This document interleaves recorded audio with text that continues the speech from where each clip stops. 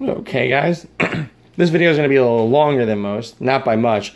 I just want to give you a rundown of what I use to get the results I would get, and I get some great results with this setup. Um, it's cost effective, it's affordable. Um, let's just get off the bat. I'm a Dyna-Gro guy. I use their Bloom, I use their Grow, and I use their Mag Pro. Long story short, bang per buck, 20 bucks, 15 bucks. This was 50 because it was a gallon, otherwise it's 20.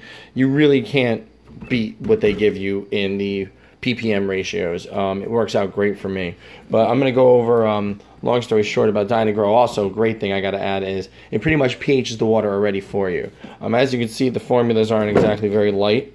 They're very awesome. I also use General Hydroponics for the silica and their pH up and pH down.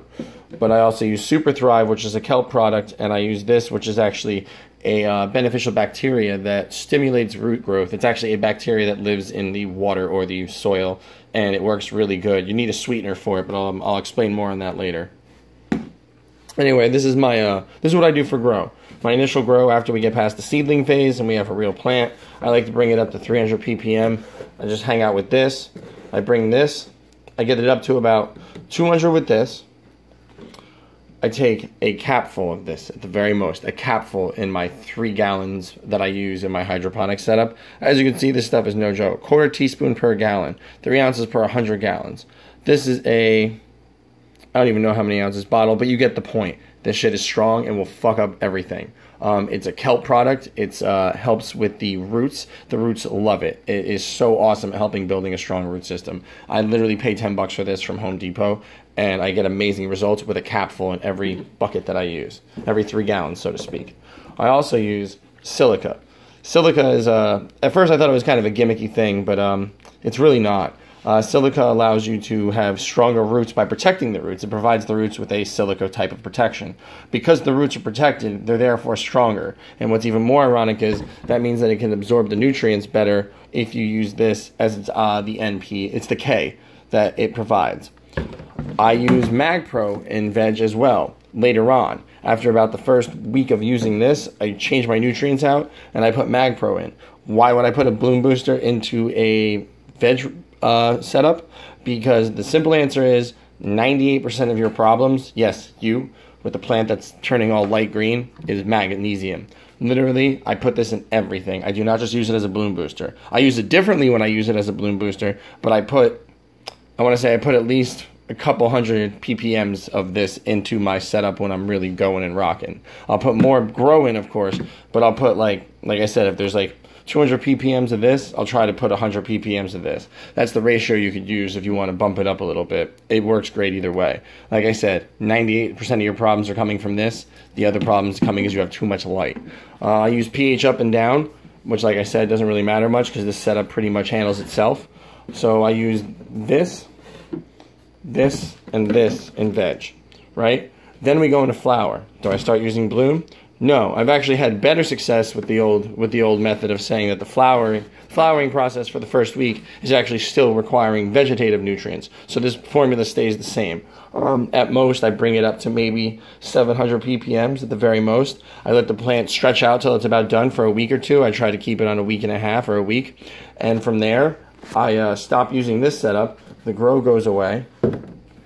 Um, what I do then is I start using bloom.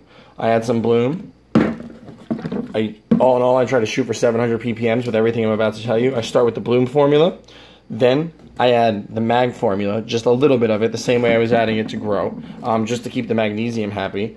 Um, I keep using the silica. I use the silica uh, quite nicely with that. It helps the roots build up and absorb more of these nutrients. I use the microfichial bacteria as well still. What I do with this is I take it, it's a powdery substance. I'll show you. Hang on.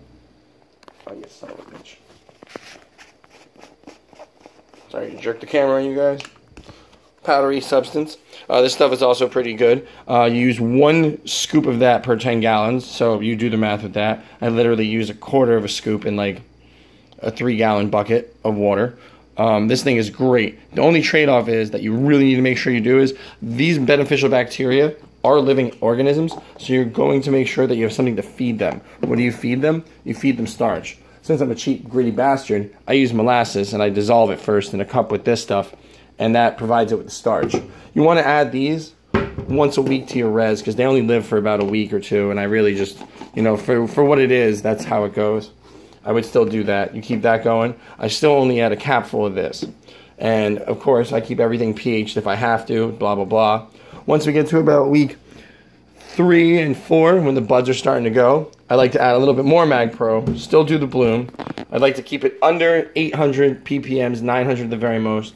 I still use this, I still use this, I still use this in the same quantities. Nothing fancy, nothing crazy. Always make sure you put starch in to feed the beneficial great white bacteria or whatever you're using as that product. Um, again, that's how I do it until about the end. And after the fifth week, I stop using the silica because the plant doesn't really need it anymore. Its roots are pretty much good and there's no need to give it more when it doesn't need it. It's really focusing on this. I really try to jump this up too.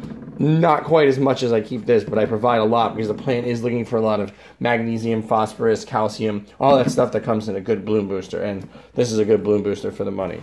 So, like I said, let's go over prices real quick. I ride it out. Sorry, jumped around there. I ride this out until the end. I don't flush. You can argue with me about it. My shit tastes the same. I've done it with stuff that I've flushed before. If you do it right, if you do this right and you don't fuck it up and over fertilize, you don't need to flush. You don't need to flush. You don't need to flush. Just don't overdo it.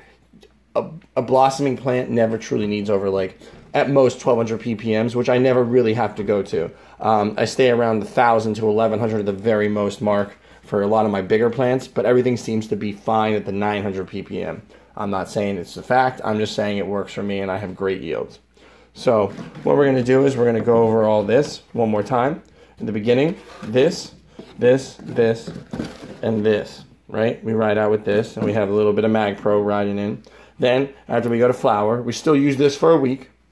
Then, flowering, weeks one through four, we still use this, gradually bringing this up after the week of, uh, gradually bringing this up after the week, the first week of flowering, which we use the veg nutrients for. After that, from weeks two to six, I want to say, from two to four, we use all of this. After the fourth week, we pull this back.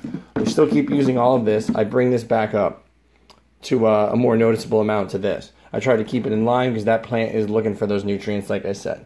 So, how much does all this cost? Are you looking to break, break the bank? Break the bank? I don't know. It's kind of affordable if you ask me. This is twenty dollars. This was nine dollars. This was ten dollars at Home Depot. This was kind of pricey at thirty bucks, but it kind of lasts a while, so it's worth it. The cheapest you can find. These are Amazon prices. This is fifteen dollars, and this because it's a gallon is fifty. But if you get this size of it, it's again twenty bucks. This is ten and ten. You get yourself a nice pH meter and a uh, ppm meter. I suggest you get a nicer pH meter than me. My old one broke, so I have to rock with this piece of shit, but it works. I hope. Um, the ppm meter is all about reading this. If you want to know about ppms and all that good stuff, just remember when you start off, you measure your water with the ppms first. So if it's 380 ppms out of the tap, you now know 380 ppms is what you have to start with. So you add enough to this, it jumps up to 400 and change. It jumps up from 3,800 ppms to about 400. I mean, jumps up 400, so it goes to over 800 you have it like that. You subtract the 388 from the new number that shows up on the meter.